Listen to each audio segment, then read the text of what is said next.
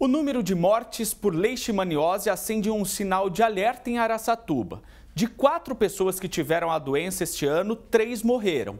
Isso representa um índice de mortalidade de 75%, o que significa que a doença é perigosa, mortal e que o combate precisa do envolvimento de toda a sociedade. Há dois anos, Maria tenta superar a dor de ter perdido o marido. Léo, como era conhecido, morreu com 39 anos, vítima da leishmaniose. Ele tinha muita dor nas costas, nas pernas, do lado, muita febre, febre. Ele já não está aguentando nem andar mais. A esposa conta que nos primeiros 40 dias de sintomas, a suspeita dos médicos era outra. Por isso, foi só depois de um tempo que eles descobriram a doença. Ele passava mal e os amigos levavam até o pronto-socorro. Lá suspeitaram que era dengue. E como foi assim? Chegou numa última hora, a médica pediu um exame, aí constou a plaqueta baixa e internaram ele. Aí foi onde descobriu que era leishmaniose visceral humana. O que aconteceu com o companheiro da Maria foi há dois anos, mas de lá para cá os casos de leishmaniose têm aumentado e muito em Araçatuba. Em 2018, 15 pessoas contraíram a doença e três morreram. Mas o que preocupa é que somente no primeiro semestre deste ano é que de quatro casos registrados, três pessoas já morreram em decorrência da doença na cidade. O que significa que a taxa de mortalidade está altíssima altíssima, atingindo 75%. O diagnóstico da doença, ele pode não ser feito com tanta facilidade, às vezes a doença não se manifesta de uma maneira clara e isso acaba atrapalhando a, a, possibilidade de se fazer o diagnóstico. Né?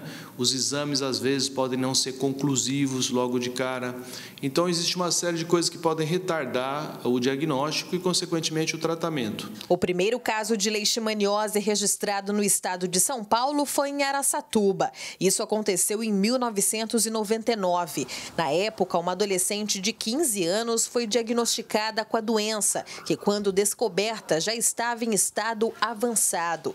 Este médico foi o primeiro especialista da cidade a identificar um caso como este. Por isso, há muito tempo lidando com essa situação, ele diz com precisão como tratar a leishmaniose. Nós temos um medicamento específico para isso, que inclusive é fornecido né, pelo, pelo governo. Então, esse remédio, como eu falei, ele tem efeitos colaterais. Né? É, para as crianças, por exemplo, e para os idosos, tem uma outra medicação, que é mais confortável, vamos dizer, de ser ministrada. Mas todos são remédios que precisam de muito cuidado e vigilância no uso disso, né? Para evitar o mosquito palha é preciso um compromisso maior por parte dos moradores. Os agentes do Centro de Controle de Zoonoses fazem o trabalho necessário de casa em casa e também passam orientações à população. Só que mesmo assim, os moradores precisam limpar os quintais todos os dias. A gente passa, por isso que a gente está mais uma vez passando, orientando, né?